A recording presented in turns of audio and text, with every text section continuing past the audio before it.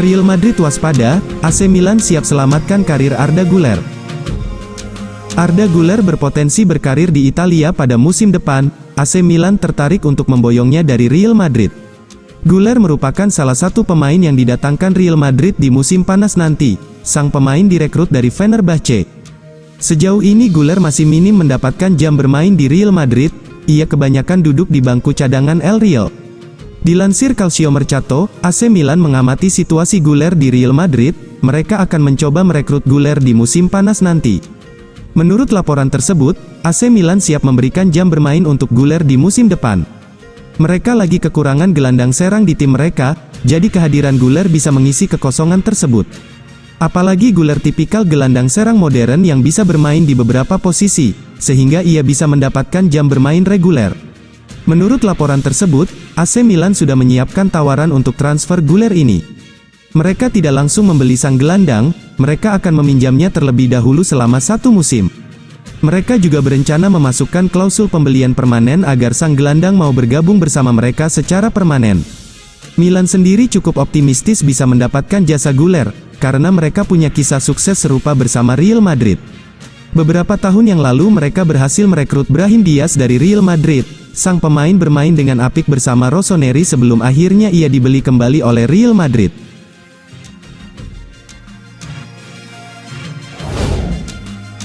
Hasil drawing perempat final Liga Champions Arsenal vs Man City tak mustahil, Real Madrid mengintai.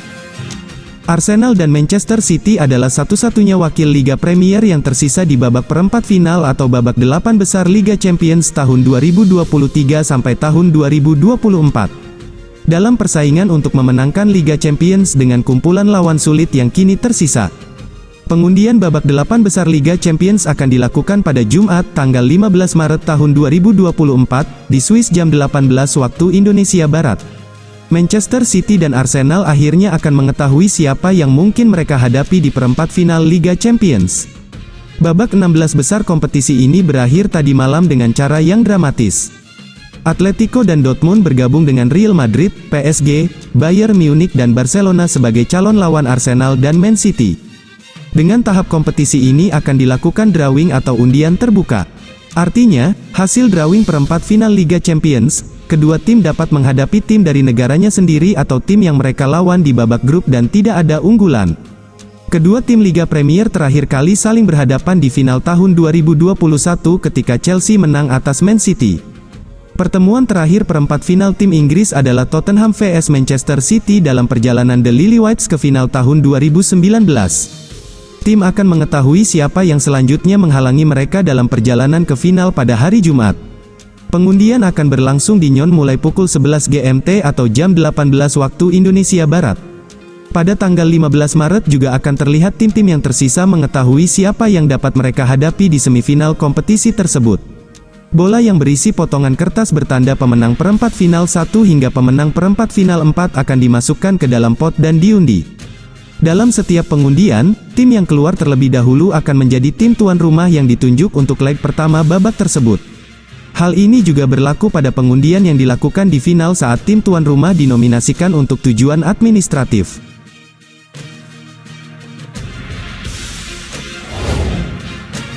Dua nomor ikonik menanti Mbappe di Madrid, paling kuat jadi penerus Karim Benzema. Nomor punggung yang bakal dikenakan Kylian Mbappe di Real Madrid menjadi hal yang layak dinanti. Kepergian Kylian Mbappe sebagai agen bebas dari PSG sudah tidak dapat dihindari lagi. Mbappe telah menegaskan dirinya tidak akan menambah masa bakti di Park des Princes. Begitu pula dengan PSG selaku klub yang menaungi Mbappe. Meski belum terang-terangan melepas penyerang andalannya itu, mereka sudah mempersiapkan diri untuk ditinggal pergi. Mbappe sendiri sudah sangat kuat dikabarkan akan menjadi pemain Real Madrid mulai musim tahun 2024 sampai tahun 2025.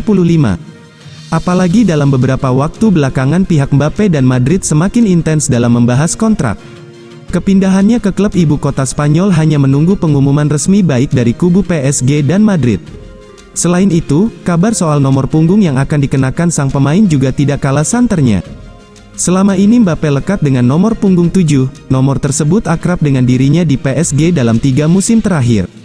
Di Santiago Bernabeu sendiri, nomor 7 identik dengan nomor ikonik mengingat sosok-sosok terdahulu yang mengenakannya. Dua sosok ternama yang terkenal dengan angka itu adalah Raul Gonzalez dan Cristiano Ronaldo. Hanya saja, ketika bermain di Madrid nanti, Mbappe tidak bisa mengenakan nomor tersebut. Pasalnya nomor 7 sudah diklaim oleh winger asal Brasil, Vinicius Junior. Dikutip dari Diario AS, penyerang berusia 25 tahun tersebut digadang-gadang sebagai calon kuat memakai nomor 9. Nomor 9 di Madrid saat ini memang sedang lowong sepeninggal Karim Benzema. Jika memilih nomor 9, maka Mbappe akan menjadi pemain ke-6 yang mengenakannya di Madrid pada abad ke-21.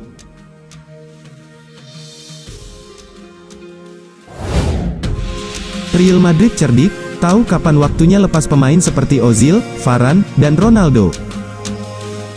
Real Madrid mungkin layak disebut sebagai salah satu klub terbaik di bursa transfer, mereka selalu bergerak cerdik dalam upaya memperkuat skuad dan menyegarkan skuad.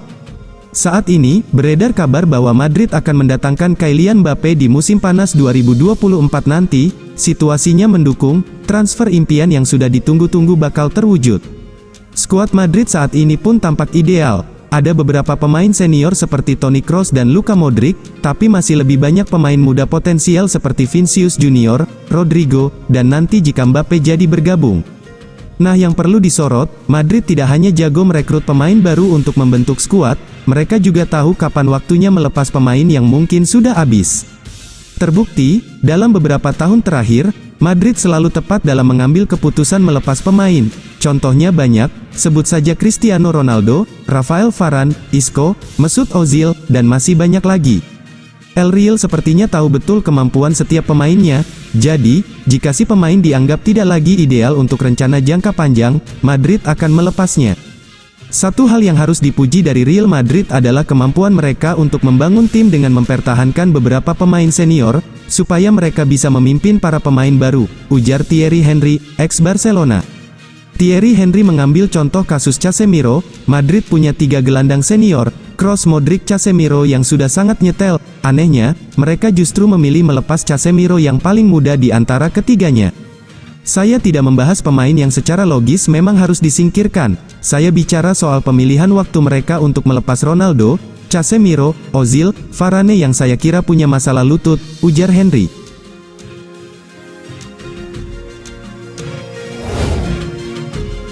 Real Madrid amankan masa depan penerus Dani Carvajal. Real Madrid tak ingin kehilangan salah satu talenta berbakat milikinya, Los Blancos langsung memberikan kontrak jangka panjang untuk Yesus Forti yang bakal disiapkan jadi penerus Dani Carvajal. Pemuda 16 tahun itu berposisi sebagai bek kanan. Dia digadang sebagai salah satu talenta paling berbakat di Spanyol saat ini. El Real memberikan kontrak baru sampai 2026 kepada Forti. Kontrak baru ini membuat Forti akan genap berusia 18 tahun saat kontaknya habis. Di usia 18 tahun nanti, Forti sudah bisa menekan kontrak senior yang berdurasi lebih dari tiga tahun. Yesus Forti sudah membela Real Madrid sejak dua tahun lalu, Forti direkrut dari rival sekota Atletico Madrid, bakat besar Forti membuat Real Madrid sampai-sampai berani melanggar perjanjian non-agresi dengan Atletico untuk mendapatkannya.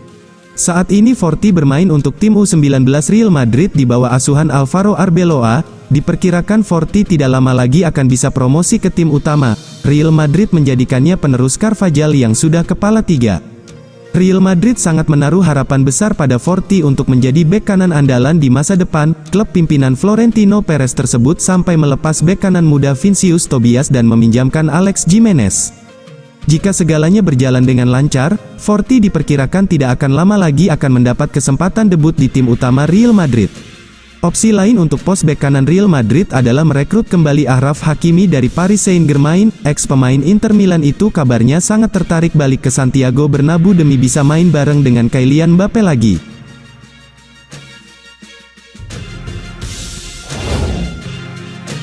Tugas berat Mbappe di Real Madrid, raih satu prestasi yang tak bisa dilakukan Ronaldo. Transfer impian Kylian Mbappe ke Real Madrid semakin dekat untuk terwujud. Bisa dibilang, kapten timnas Prancis itu tinggal menunggu hitungan bulan buat diresmikan menjadi pemain Los Blancos. Mbappe dikabarkan sudah mengonfirmasi kepada klubnya, Paris Saint-Germain, untuk meninggalkan Parc des Princes setelah habis kontrak per Juni tahun 2024. Rencana Mbappe usai lepas dari Les Parisiens adalah gabung ke Madrid dengan status bebas transfer.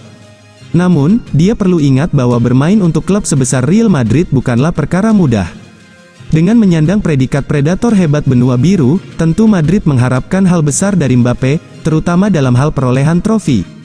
Salah satu tugas berat menanti sang bomber, yakni membawa El Real menjuarai Liga Spanyol dua kali beruntun. Real Madrid tidak pernah back-to-back kampiun Liga Domestik sejak tahun 2006 sampai tahun 2007 dan tahun 2007 sampai tahun 2008. Setelahnya, justru Barcelona yang berkali-kali menguasai La Liga secara berturutan.